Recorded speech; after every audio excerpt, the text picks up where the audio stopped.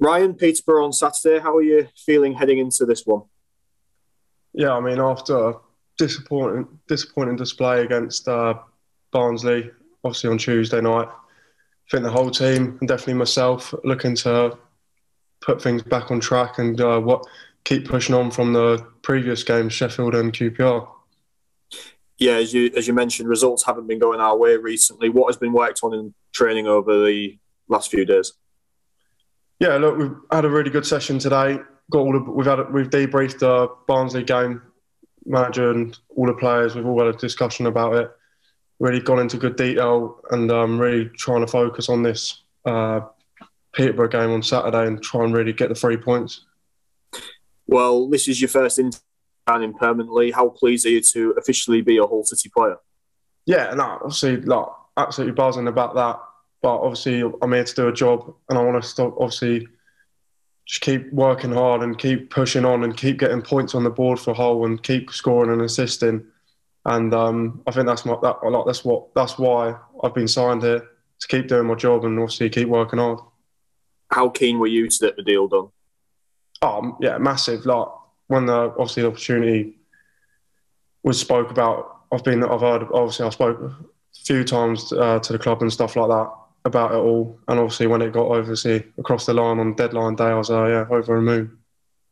What have you enjoyed most about your time here so far? I think it's just everything about this club. I think obviously the fans are a massive asset to the club. Um, really, when obviously like even the Tuesday game, they come in numbers. What was really good to see, and obviously we need that as well on the away days, especially against Peterborough on Saturday.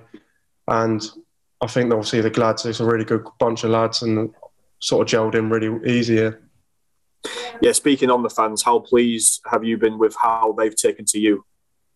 Yeah, no, over them, yeah, like they've been class all the way through the season, not just with me, with the team and that, and obviously with the the takeover, everything. There's been a lot of changes this season, and yeah, obviously they've stuck by us, and obviously, and they've come in their numbers for yourself, how are you finding adapting to playing in different areas of the pitch this season? Because obviously you played further upfield, you played at wing back, you've also played in, in the middle as well. So how have you found that challenge?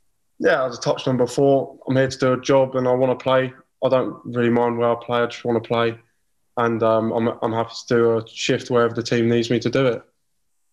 You've spoken on scoring, you've got four goals so far this season. How keen are you to add to your tally before the end of the season? Yeah, I mean, as a forward player, I want to get as many as I can and help the team out as much as I can, and we'll see get assists as well in, in, in vital games, important games, and and in the in this league, every game's important. So I want to I want to contribute as much as possible. And last month as well, I think you were having your own goal of the month tournament with um, two nominations um, against Everton and Bournemouth. How happy are you with with those finishes?